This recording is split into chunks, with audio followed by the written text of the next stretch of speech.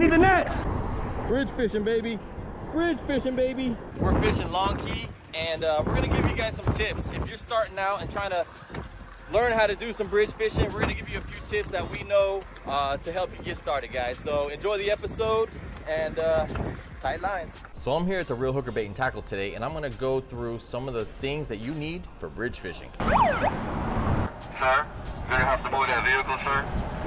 It, it, it's snook parking only. Only for snook, parking only. That's pulling, right? That's pulling. Oh, it's not pulling no more. Big ball, big ball, big ball, big ball on three. One, two, three, big ball. This video is brought to you by The Reel Hooker Bait and Tackle and Nines Optics. What's up guys? Welcome back to another episode of CEO Fishing. In this episode, we're going bridge fishing.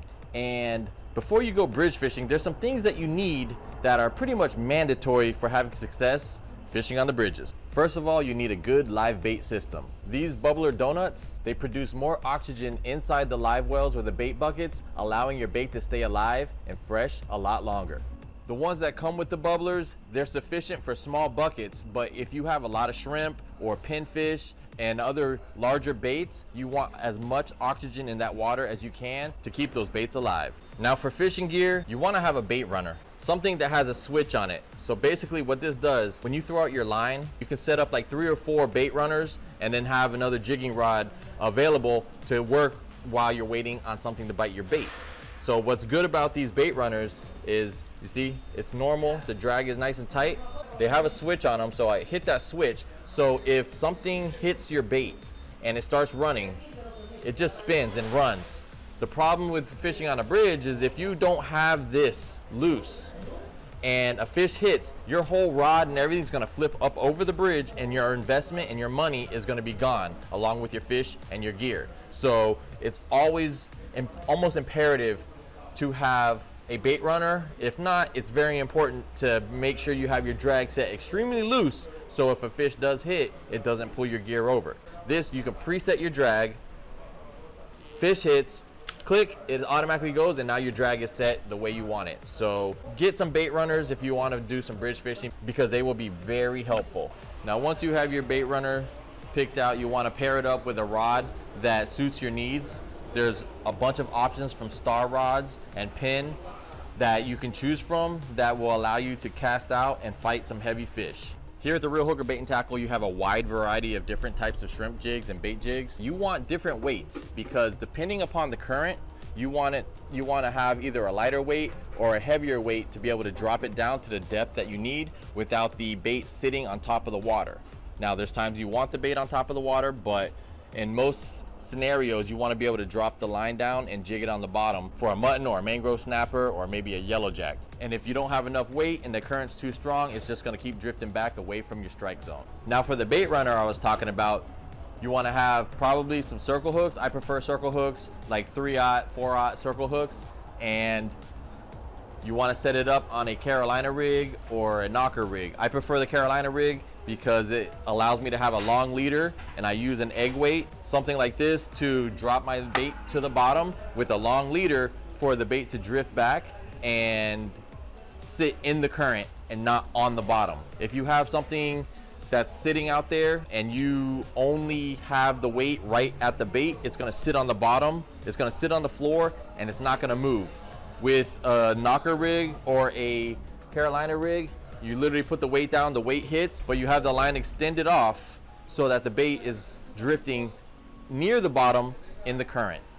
And again, you want a variety of different weights because depending on the current, different weights will get down to different depths. If the current is absolutely ripping, a small weight like this will not keep the bait down at the bottom. So you need to use something a little bit heavier to keep it down. Now you can get yourself a really good bridge cart and invest some money in a bridge cart or you can grab a backpack to carry your tackle and your gear to the spot where you're fishing. But ultimately, a bridge cart is perfect because you're gonna want a cooler for all the fish that you're gonna catch because you've been watching this video. So you wanna be able to carry your cooler, uh, multiple rods. Typically I go with about four different setups, four rods. I have two on a bait runner with the knocker rigs or with the Carolina rig, and then I have two one with for live bait and one with a lure so that I could jig the piling as I'm moving down the bridge. You also want to make sure you have a good bridge net for those fish that are too big to flip up on your line because there's nothing worse than catching a huge fish, a big mutton or a big cobia or something and not being able to lift it up because you cannot lift it on your rod. You want to be able to drop a bridge net down to bring up your catch. I mean, if you want to bring home big fish for dinner. And if you're like me and you're a die-hard artificial user, which I use both live and artificial, but but I love jigging with artificial shrimp and using swim baits. And Monster 3X has a whole line of shrimp that are perfect for the bridge. Mangrove snapper go nuts for these. You know, obviously you have to have the right color at the right time of day and all of that. But if you just throw a nice little ball jig on there, basic ball jig, again, the size that you use will be dependent on the current that's there. But if you jig these and give them action near the pilings, I guarantee you're gonna hook up on some fish. And if you want something a little bit bigger, they've got bigger sizes, but check out these Monster 3X here at the Reel Hooker Bait and Tackle.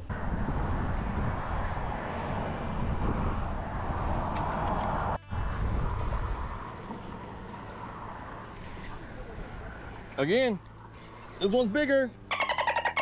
Yeah. Hold on, hold on, hold on. We got a big one. Hey, we got a big one. Oh, oh, it's a grouper, grouper. Oh, let me come on this way, let me come this way.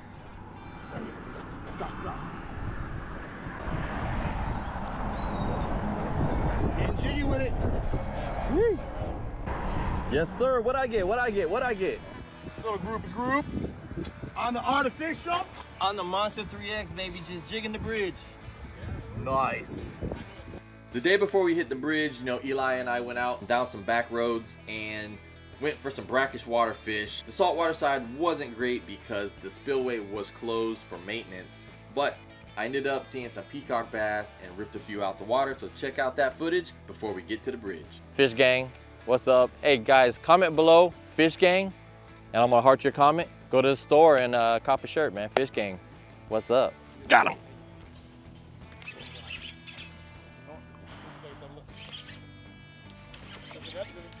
Yeah.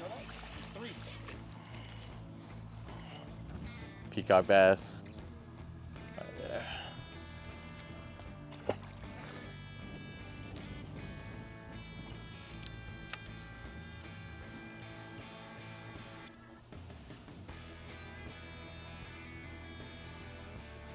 Got another one.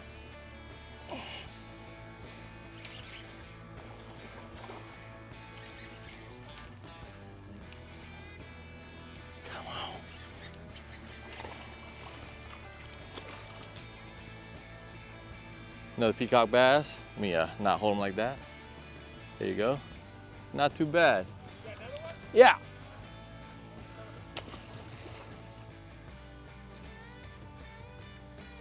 This is what it takes to go bridge fishing. Did it bite yet? Catch a fish? Yeah. All right, buddy. Get him. All right, all right. Gotta go put that work in.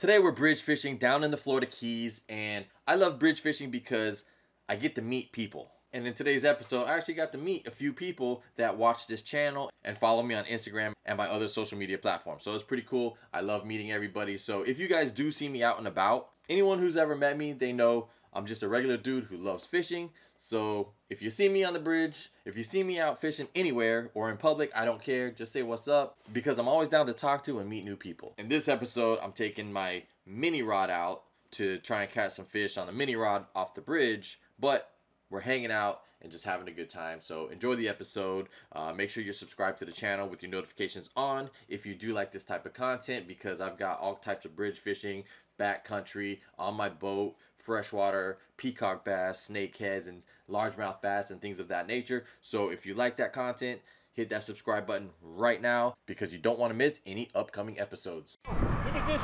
Look at the size, look at the size of this one. Oh, damn. Yo, That's a pretty one that fish. That's a pretty fish. I've never seen one that big, bro. How you doing, man? Good. Oh. Uh, what's your name? What's that? Javier? Oh, nice. You're good, bro. Nice to meet you, man. So jig head and a little piece of shrimp. Yeah, bro. Well, what do you normally catch? Like snapper and yellowtails? I just caught a grouper, On that? but on, on a Monster 3X lure. Nice. What's that, snapper? Nice. Yeah, yeah. Yeah.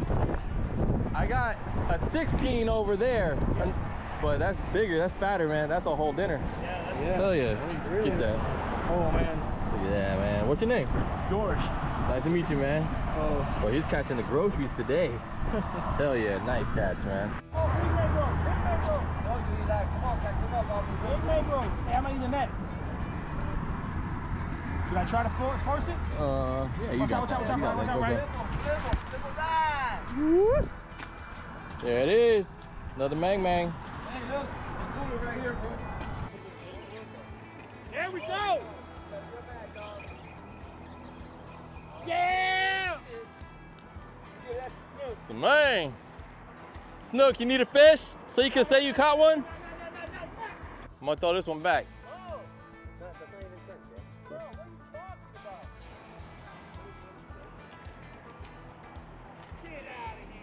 On damn artificial. That is not what I was looking for. It's a cool fish. It's a very cool fish. But when you're trying to catch snapper, it's not what you want. So, so for a beginner, shut up! Shut your ass up! I'm trying to do an interview over here. So for the Paparazzi. for people, yeah, I'm your paparazzi. So for the people who are just beginning to learn how to come out on the bridge or they want to start doing it, you have any like first time tips that might be helpful? Chum is key. Chum is key. Absolutely. So you chum, they will come. Yes, sir. All right. Check out the chum. The chump or the chum? The ch- oh, the chum. All right. So today we're talking to Captain Snook. We just linked up with him on the bridge here, and uh, We're chumming. we're chumming because he said if you chum, they will come. Now, other than chum, do you have any pointers for people on the bridge who are wanting to learn how to fish it? Just gotta go. Try. Just go try. Let's go try. Trial and error. You see, bro? Man, baby. Hold it up. See like? Have you ever seen one this big before?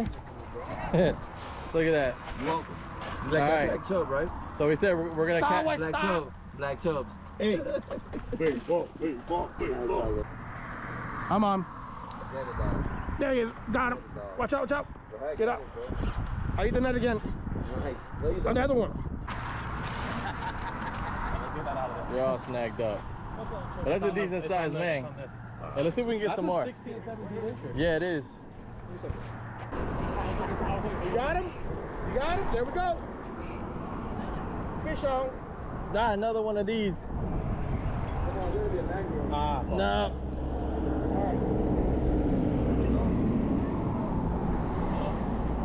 It's not the mangrove I'm looking for, people. What do we got? Bridge fishing.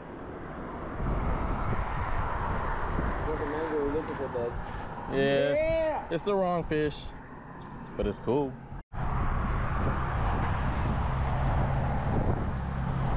Another grouper. Little strawberry. Hey, I really hope you enjoyed this episode.